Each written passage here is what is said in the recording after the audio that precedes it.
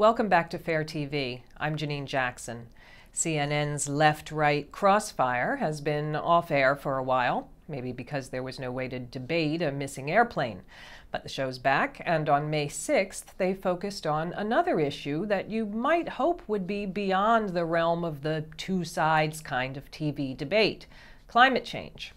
The show pitted TV scientist Bill Nye against Nick Loris of the Conservative Heritage Foundation, which has been a key player in the climate change denial industry, receiving money from energy companies and the Koch brothers.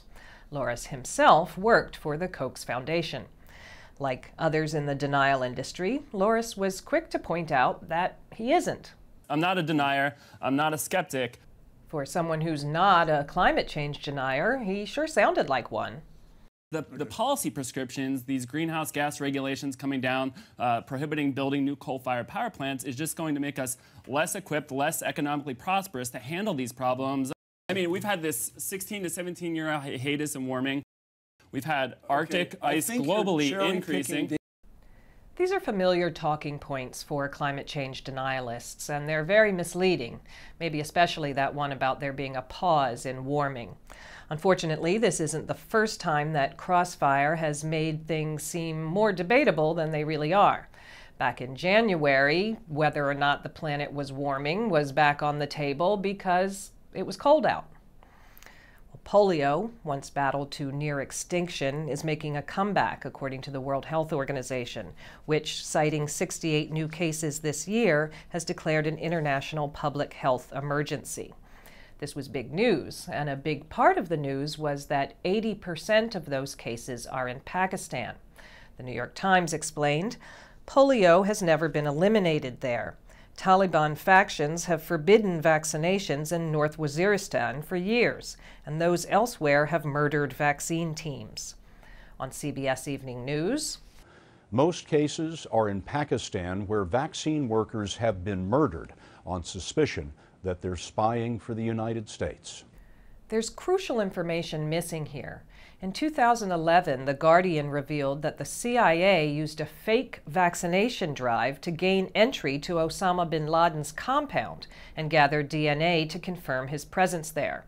The Guardian's reporting made it into the New York Times, which itself has reported several times on killings of polio vaccination workers in Pakistan, noting that these attacks escalated after the revelation of the CIA plot.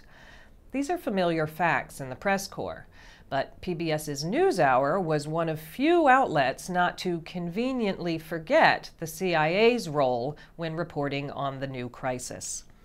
Finally, no one tunes in to morning news shows expecting much by way of news, but you do hope that normal journalistic conventions still apply.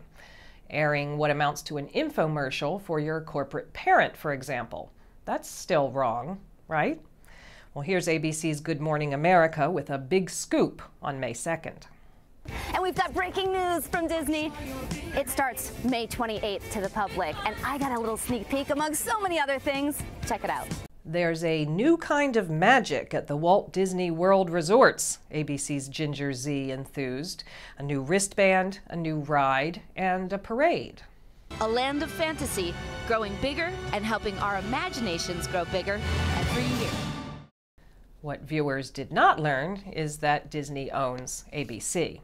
Well, if the show dropped the disclosure in that segment, it's not because they don't know how to do them. Lately, ABC's news division has been working hard to promote Star Wars, another Disney property, and they've acknowledged that corporate connection. And there was this from a Good Morning America segment on the new installment in the Star Wars series. The release date for the movie, produced by our parent company, Disney, is, I'm afraid, far, far away. December next year. May the Force be with you during the wait. Something tells us ABC's news division will keep us updated. I'm Janine Jackson. Thanks for watching Fair TV.